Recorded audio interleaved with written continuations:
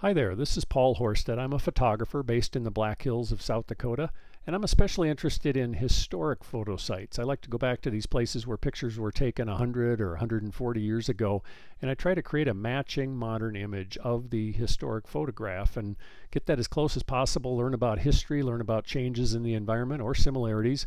And I love speaking to groups about this in my live presentations. Uh, that's one of my great joys, uh, sharing my work on the big screen.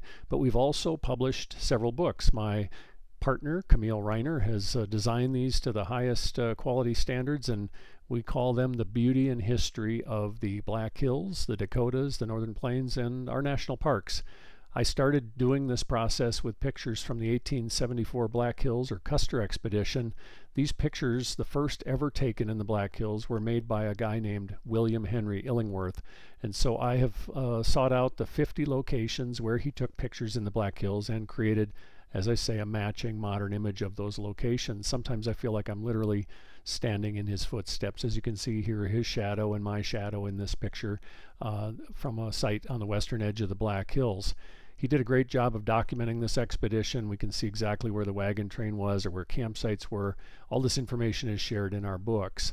Later, after the gold rush started, uh, we have other photographers working in the area, and I've documented probably several hundred sites around the Black Hills where various photographers took pictures, and then I came back and recreated their photos a hundred or more years later.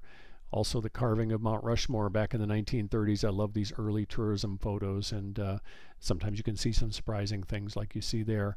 I've done some work in other places, such as Yellowstone National Park. We've produced a book with about 100 locations around Yellowstone, as well as a more recent book that features 24 national parks, uh, several views from each park. So, all of these books are coffee table size, highest quality reproduction standards. And uh, whether it's the national parks or our Black Hills book, our best selling book, The Black Hills Yesterday and Today, you can look at all of these at my website, paulhorsted.com. You can order them online there, of course, and I'll, I'll be glad to sign it for you before I ship it to you. We have free shipping as well.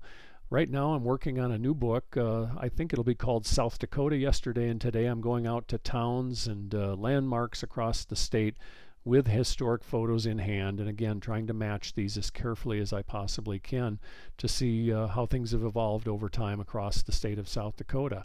So uh, I'll be glad to speak about that as well as any of the other subjects I've covered in more detail. This has been kind of quick, but if you uh, want to hear more details or talk to me more about the possibility of speaking to your group, just go to my website, just my name, paulhorsted.com, or email me at paul at paulhorsted.com or call me at the phone number on the screen there.